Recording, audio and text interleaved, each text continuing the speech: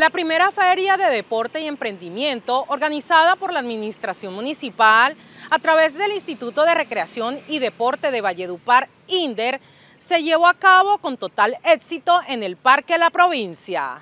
La primera feria de deporte y emprendimiento realizada este 31 de agosto fue un rotundo éxito, superando todas las expectativas y llenando de energía a los vallenatos. Este evento, una iniciativa de la Alcaldía Municipal para reactivar la economía local, ofreció una jornada de intensa actividad física y diversión. Desde las 5 de la mañana más de 5.000 asistentes se congregaron para participar en una amplia variedad de actividades que incluyeron carreras de running, caminatas, sesiones de baile, paseos en bicicleta, partidos de fútbol, torneos de voleibol, sesiones de fuertemente activo y demostraciones de taekwondo. La feria contó con tres estaciones deportivas organizadas por el INDER en el Parque La Provincia, donde se brindó toda la oferta institucional de la entidad.